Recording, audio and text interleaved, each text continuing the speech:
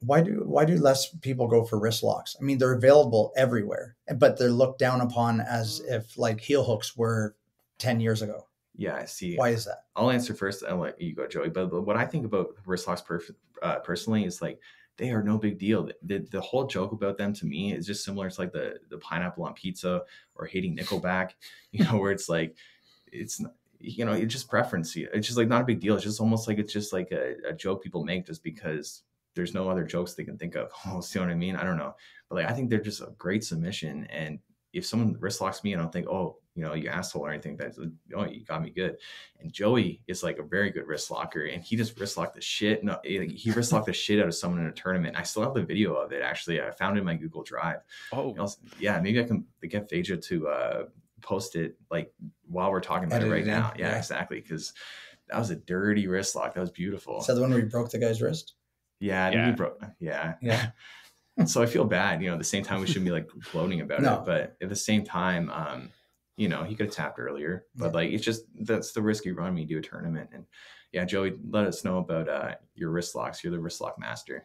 Yeah, I, I love a good wrist lock. I think I think a lot of the reason people hate them is because they're really easy to do, and if you don't see it coming, they can come on really fast, and there's not a lot you can do about it. Like if your wrist gets caught and someone starts putting that pressure, you don't really have a ton of time or ways out. It's just kind of ha- you have to tap right away.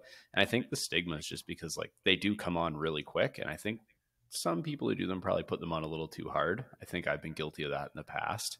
Uh, and like you know, a lot of people work with their hands, and you know, messing up people's hands might not be the nicest thing to do.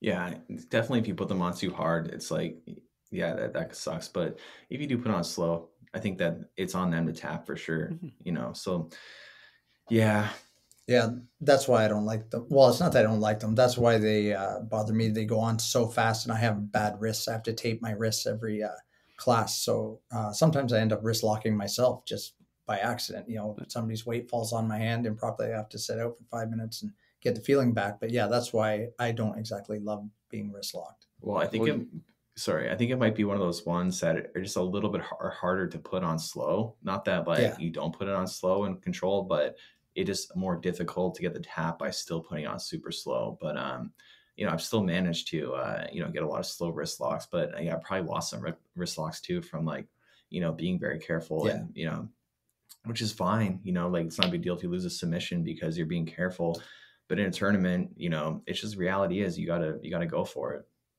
Mm-hmm.